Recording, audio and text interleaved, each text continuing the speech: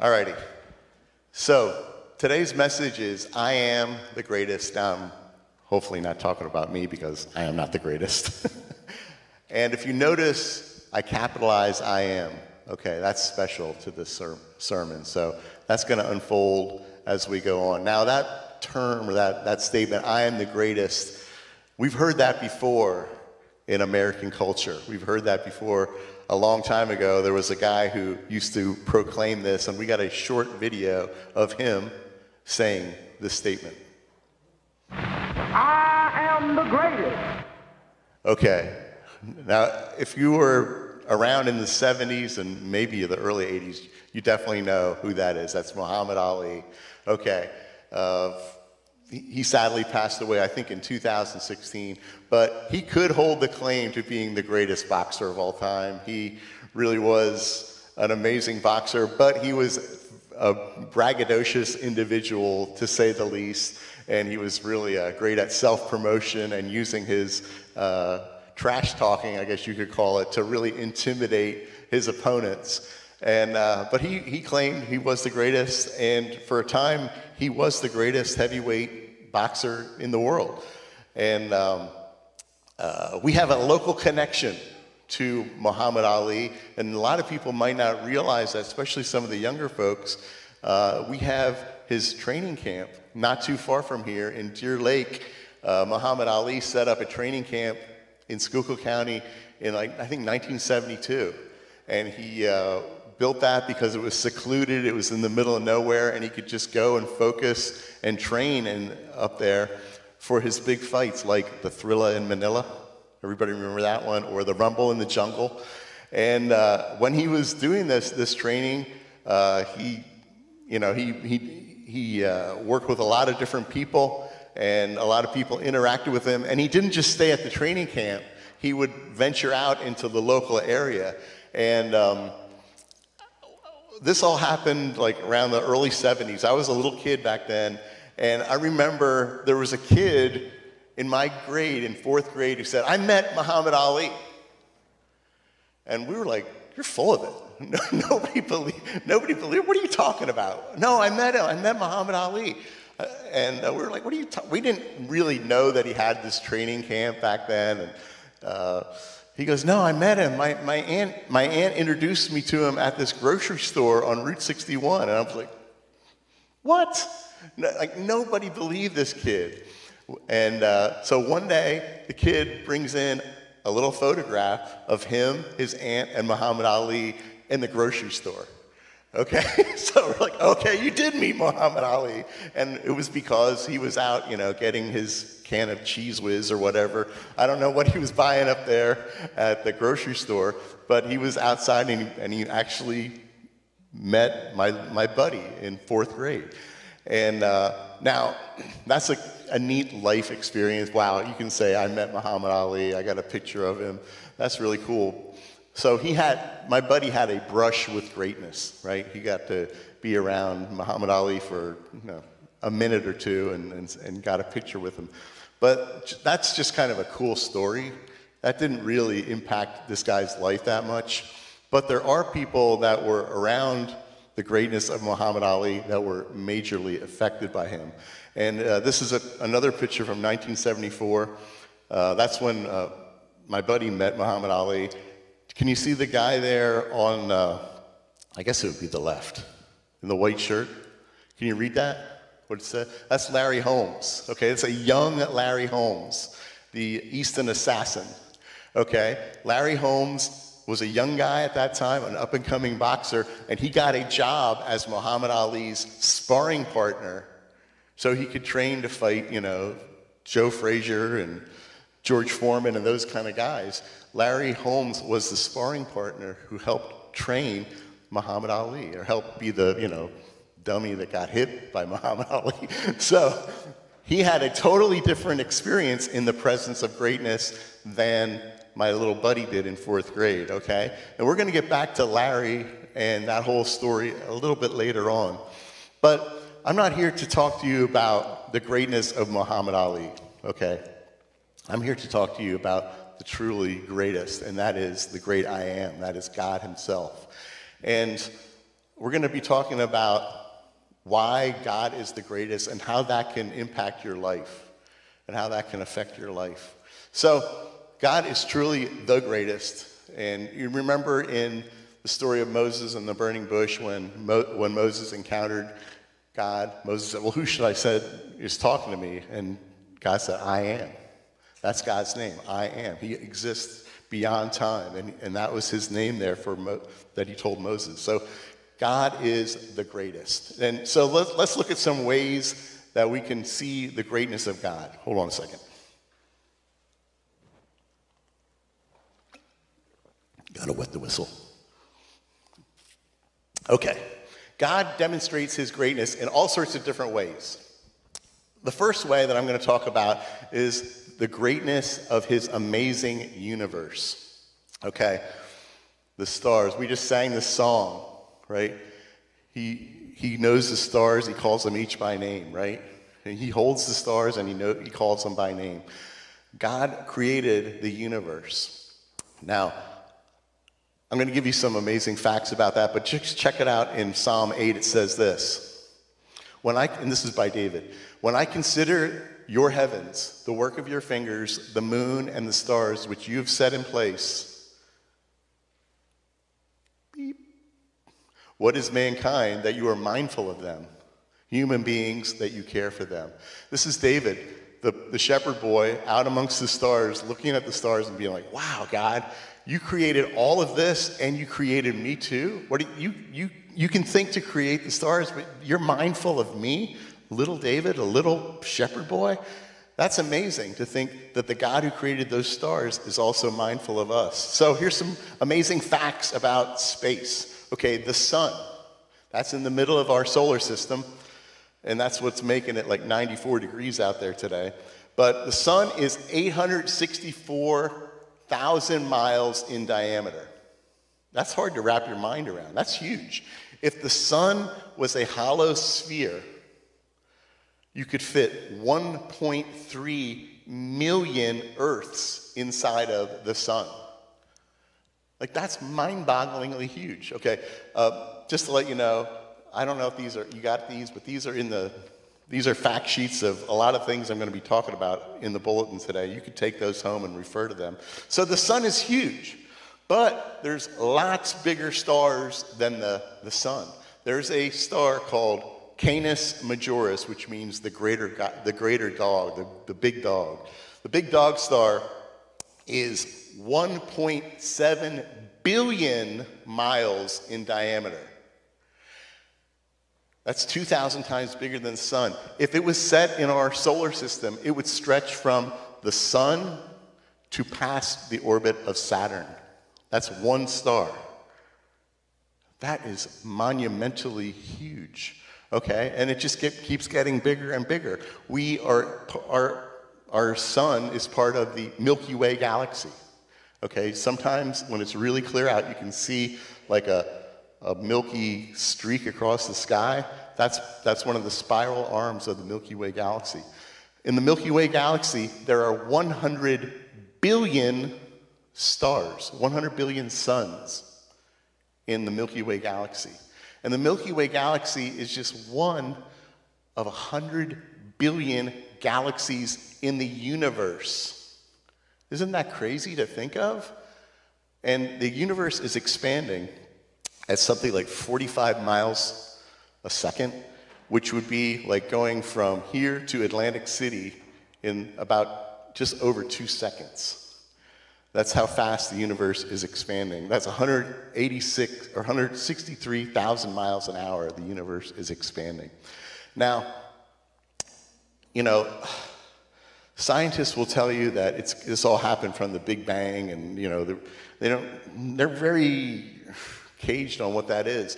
But they're basically saying, like, in the beginning, in the beginning of time was nothing. And then nothing exploded and created everything. That's pretty bizarre. That's pretty ridiculous. We believe that God spoke the, this, the universe into being. Okay? The Big Bang is an explosion. When's the last time you saw an explosion create anything good? Explosions destroy things, right? Explosions wreck things, except they can make holes in the ground or whatever. Okay, so we're supposed to believe that nothing exploded and created everything. No, the, the greatness of God created this universe, this amazingly great universe. Okay, how else can we see the greatness of God displayed? We can see it in the amazingness of the life that He created. Okay? Let's go into Genesis chapter 1. We're all familiar with the creation story, but I got three verses that I strung together here in Gen, uh, Genesis 1. I got 11, 20, and 24. Verse 11 says, Then God said, Let the land produce vegetation, seed bearing plants, and trees on the land that bear fruit with seeds in it, according to their various kinds. And it was so. God spoke plants into existence. Boom. Then in verse 20, and God said, Let the water teem with living creatures, and let the birds fly above the earth across the vault of the sky. God said, I'm going to create sea creatures and, and uh, birds. Then he goes on, and God said, Let the land produce living creatures according to their kind, the livestock, the creatures that move along the ground, and the wild animals, each according to its kind. And it was so. God spoke and the animals were created. Now, again, we're, we're told in science class that uh, back millions and billions of years ago, there was this like soup on the earth, and this soup was like primordial soup bubbling around, and boom, like life popped out of it. That's what we're taught as fact, okay? But the fossil record does not go along with that okay? It doesn't go along with evolution or any of that kind of stuff. We're supposed to believe that we all descended from some single cell animal and then it all just happened. It's, it doesn't show up that way in the fossil record. As a matter of fact, you know, you hear, you hear about the missing link. Okay, well, they keep finding missing links, they keep getting disproven all the time. But we're told that, hum, uh, that humans descended from some kind of mammalian shrew type creature millions of years ago. Like we're all descended to this shrew type mouse thing. Okay? But there are, there's 5,000 different, there's 5,513 different mammalian species. Okay? All different kinds. So a mouse is a mammal, and a blue whale is a mammal and a baboon is a mammal, and a cow is a mammal. And we're supposed to believe that they all descended from this weird shrew type creature, but they never find the transitional species ever in the fossil record. The animals show up in the fossil record fully formed. Every single one of the species is fully formed in the fossil record. they they've never found these missing links. They don't exist because God spoke it into being and then the animals were there. That's amazing. God created it. It wasn't just time and chance. God created this. That's the greatness of God, that He can speak life into existence, right? That's amazing to think of. Uh, in, in terms of species, scientists have cataloged between 1.4 and 1.7 million different species on Earth. That's like plants and animals and single cell things, algae, stuff like that. But they know that there, or they believe that there's way more species than, that they, than they, they've even discovered. There could, be, there could be between as many as 8.7 to 30 million species of life on Earth, most of which have not yet been discovered or cataloged. So, we're told that life is easy and it just popped out of this primordial soup, and yet it's why don't, why don't we see species popping up all the time? It doesn't make sense because God spoke it into existence in the past, okay? It's not, it doesn't work like that, all right? So, God just shows his greatness through the, the stars. That's looking at the life, uh, looking at the world through telescopes. And he can show us his greatness by when we look in the world through microscopes, too okay? And he can show us his greatness through his greatest creation, which is mankind. We are called his masterpiece. In Ephesians 2:10 it says, "For we are God's masterpiece. He has created us anew in Christ Jesus so that we can do the good things he planned for us long ago." God's word says that humanity is God's masterpiece. So when we look at humanity, and actually all living creatures have something called DNA inside them. Okay? And DNA is deoxyribonucleic acid. That's a tongue twister to even say that at like, I don't know, 10 o'clock in the morning. so, DNA is an amazing molecule. It's an organic molecule that has information in it that allows cells to replicate and reproduce. And DNA is what creates us and makes us be, be here. From the cell of the mom and the cell of dad coming together, forming your DNA, and then moving forward and creating the person that you are here today. There's, it's a four character coded language that tells cells how to function and reproduce. Okay? Bill Gates, love him or hate him, uh, one of the smartest guys in the world in computers, he said that the, the, if DNA was a computer language, it would be far more advanced than any computer language we've ever developed. Far, far more advanced than any language we've ever developed. Check this out. The human body has about three, about 30 trillion to 100 trillion cells in it. Each one of those cells has a six foot strand of DNA inside of it. Okay, we, every cell must have DNA in it, or it won't reproduce, it won't fix itself. And so, if you took all 30 trillion strands of DNA and stretched it out, it would be 34 billion miles long. And it would extend from Earth to sun to the sun and back again 183 times. 183 round trips from here to the sun is this, just the length of the DNA that's inside our bodies. That's pretty amazing. But like I said, Bill, Bill Gates said it's an amazing language. It has information in it, it carries language, it carries a code that, that tells our cells how to function and, and move on. And just one strand of DNA has the data equivalent of 5,000 books in it. Just one six foot strand of microscopic DNA has the information of 5,000 books in it. If you had a gram of DNA, one gram, okay, a gram is about the weight of a raisin or a paperclip. That's, that's, a, that's a gram, okay? A gram would hold 270 trillion DNA strands or molecules, and it would have the entire storage power of everything currently on the internet, well, on the internet in 2017. All the data on the internet could fit in one gram of DNA. Now, um, y'all have, a lot of people have, I don't know if you can see it, you know, that's a flash drive. those are used to transfer like photos and files and stuff from computers.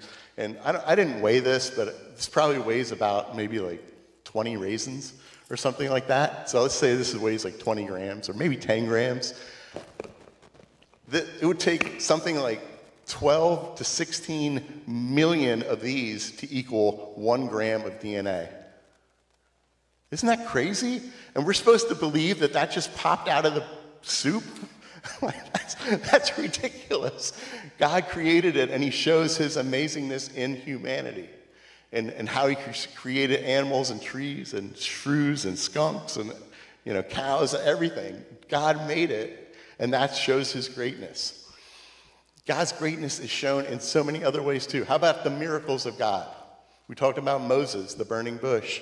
Okay think of the, the miracle of the plagues that he called down on pharaoh. The miracle of the red sea parting. The miracle of the jordan river parting. The miracle of the wall of walls of Jericho crumbling, the miracle of uh, David defeating Goliath, the miracle of um, Gideon defeating the Midianites with 300 guys and some broken pots.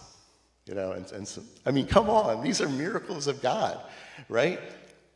The miracle of Daniel in the lion's den, the miracle of his three buddies in the fiery furnace. I could go on and on. The miracle of Esther, you know, what she did.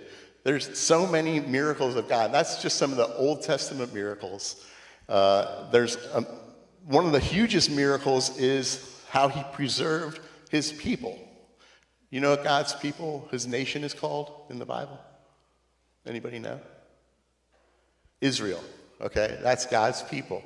And uh, do you remember when Jacob wrestled with God? You remember that? By the Jabbok River, I think it was. And uh, after that wrestle, uh, God popped out his, his hip socket and all that kind of stuff. And then he said, Your new name's going to be Israel. Okay, so that's the beginning of Israel, right? That was like 3,700 to 4,000 years ago that this little family was called God's people and said, You're going to be as numerous as the stars in the sky and the sand and the, the beaches and all that stuff. So God created his family, his people, back then. He preserved them through the Egypt, Egyptian captivity and slavery, brought them into the promised land. He preserved them from the Babylonian captivity, brought them back into his promised land. These are huge miracles, huge miracles. And something amazing happened with God's people all the way up into the 20th century. What happened in 1948, Carl? Israel was formed, exactly. The nation of Israel was formed in 1948. This group of people that was this, this extended family back in, you know, 2000 BC was preserved all the way to become a nation in Israel in 1948. And God pres- preserved them three times through at least three major wars in the 20th century 1956, 1967, and 1973, when all the Arab nations attacked Israel and they could never overcome Israel. God, God's miracle, just of how He preserved the people of Israel, shows His amazing greatness, right? Now, God's greatness is also shown in the changed lives of people that he encounters. Okay? Moses got to see God multiple times.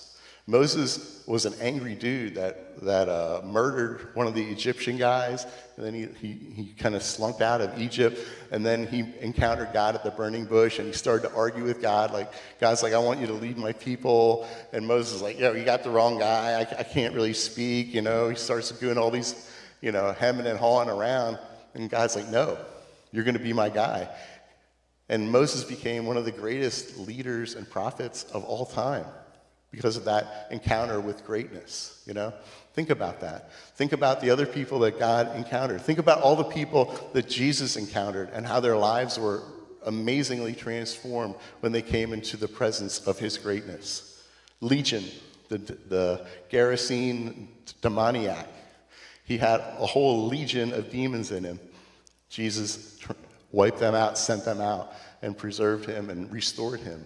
Mary Magdalene was also possessed by numerous demons. And when she came into Jesus' presence, the presence of his greatness, she was totally transformed.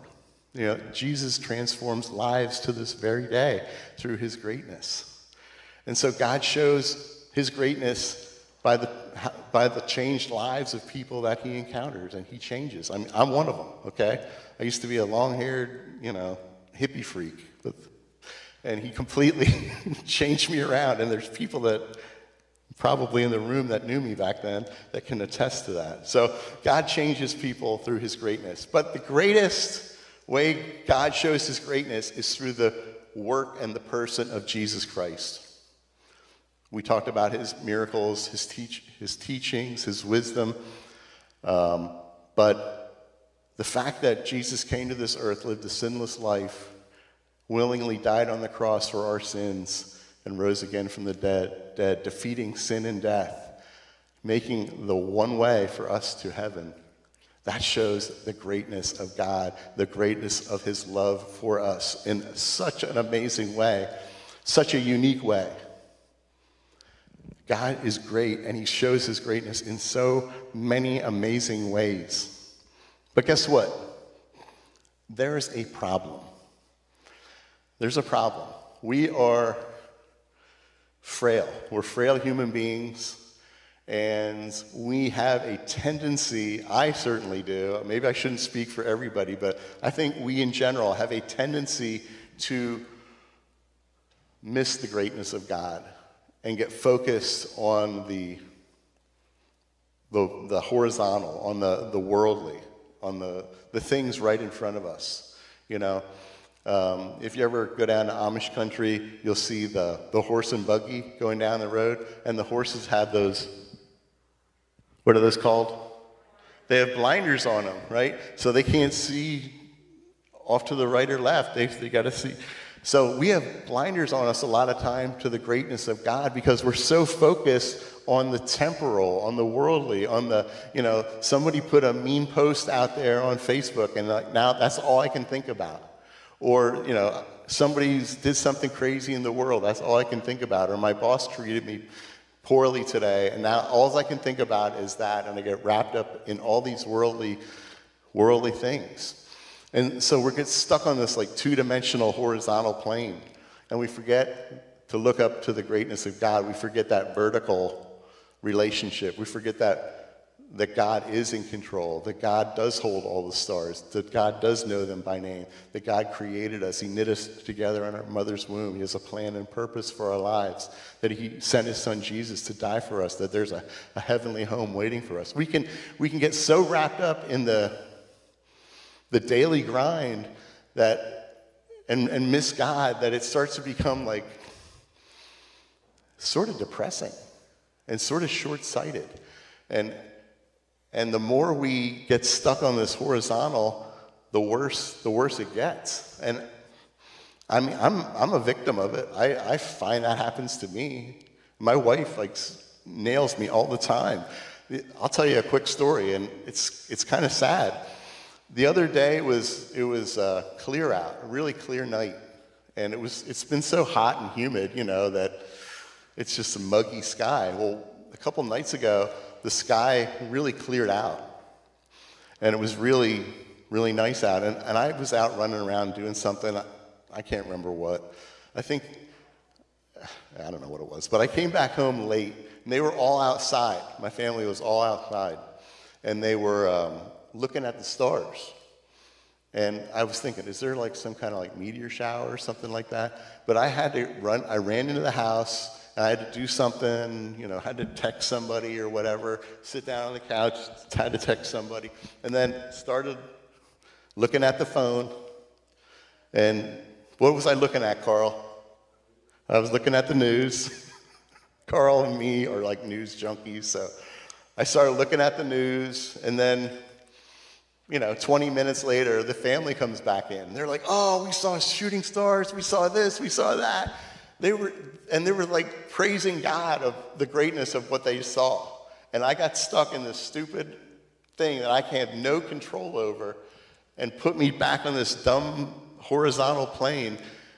And they were like communing with God, looking at some shooting stars. I missed it. I missed it that night. And I felt like an idiot. You know, I felt really, wow.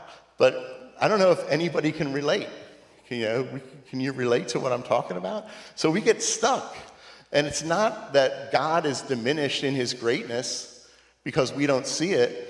What I think is happening is the devil's messing with you. The devil's messing with me. The devil doesn't want us to see and recognize the greatness of God. He wants us to be stuck in our little circumstance, and he wants us to forget about the greatness of God. He wants to forget that God is a God of miracles, that God is a God of creation, that God is a God of mercy and grace and forgiveness and love. And he wants us to forget that and get stuck. He wants us to get stuck on the horizontal.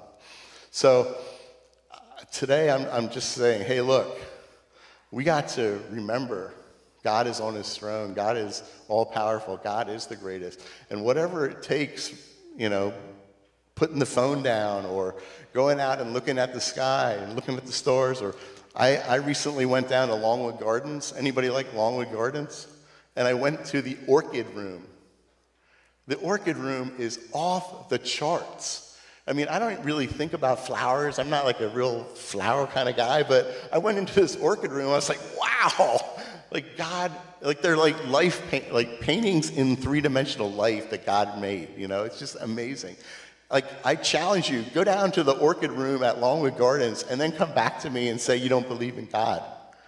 It's so amazing. It's so evident of all the creation that God, God made. He's showing you his love and his greatness. You got to break the cycle of the things that are, are dragging us down and get back to God. You know, uh, you can even see God on the farm. Okay? Every time a calf is born, that's a miracle. Okay? You might get goo and stuff all over your fingers, but you get to see the miracle of life in a newborn animal. You know, or kitty, kitty cats get born. That's a miracle. That's God bringing his greatness into your presence, you know? So God wants to show you that and break you out of the, the horizontal, get back to the vertical, right? Now, another thing about the greatness of God is this when we're in the presence of greatness, great things happen. Okay? Back to 1974 with uh, Muhammad Ali and Larry Holmes. Okay, Larry was a no name sparring partner of Muhammad Ali, but he, Larry got into the presence of the greatest boxer. And, you know, taking all those shots and the rope a dope and all that kind of stuff, do you think that that affected Larry Holmes? Absolutely. He learned a lot from Muhammad Ali. And in 1980, he got to face Muhammad Ali. And does anybody know who won that fight? Eric, you remember that one? Guess who won? Larry Holmes won. Larry Holmes beat his mentor decisively. That's when they like stopped the fight and like you know, Ali was like, Grr. I mean, he was messed up, you know.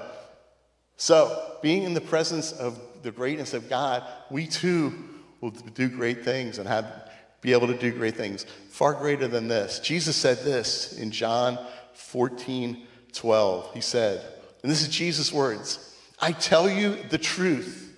Anyone who believes in me will do the same works I have done and even greater works because I am going to be with the Father.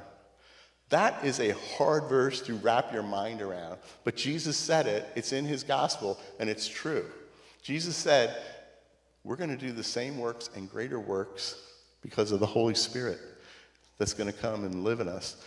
I was just at a Jesus rally on Friday in Ephrata, and I was, me and Jason got to be part of this praise band up there, and it was off the charts in this tent revival meeting up there. I'm going to say 30 kids got baptized. The guy was praying healing over all these people, like dozens of people were healed.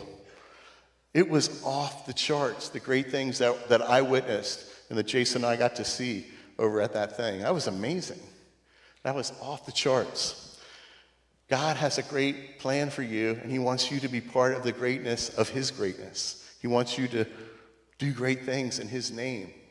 And, and it's possible because we have the Holy Spirit in us. So I want you to be encouraged today. I want you to know God is great. He's on His throne, He's in control. No matter the circumstance, He's got you. He created the heavens, He created the earth, He created all life. He does miracles in the past, He's doing miracles today. He's with us, and He's going to empower us to do great things that he called us to do from the beginning of time, from before time, as Ephesians 2.10 says. That's the message today. That's the message. It's a message of hope. And uh, hopefully the band's coming out here. We're going to sing a song pretty soon that is an oldie but a goodie. Uh, it's really an old one uh, in terms of Christian music, but it is, it is a song that we get to proclaim the greatness of God. And I want to just pray as they're getting set up here. Um, Father God, you are the greatest. You are the great I am. You created all things. You created the heavens, the earth, the planets, the solar systems, the galaxies. You created all life. It's not a mistake. It wasn't an accident. It was purposeful. And we can look on your creation and be encouraged that you are all powerful, almighty. You created miracles and showed us miracles throughout history. And you sent the greatest miracle of all, Jesus, to be our Lord and Savior, to die for our sins on that cross. We thank you for the miracle of salvation through Christ. So, Lord, I pray today that each and every person in this room be encouraged by your greatness, be empowered by the greatness of your Holy Spirit. to be able to do great things that you called us to do. And we rebuke the lies of the enemy over the people here and the people that are listening on the internet. We, we rebuke the lies of the enemy that are t- distracting them from your greatness and getting them to focus on the worldly circumstances. Lord, show us your greatness, whether it's through looking at the stars or reading your word or communing with your spirit or being here in worship. Lord, show us your greatness and let us never forget how great you are, oh God. And it's in your name that we pray, Lord Jesus. Amen.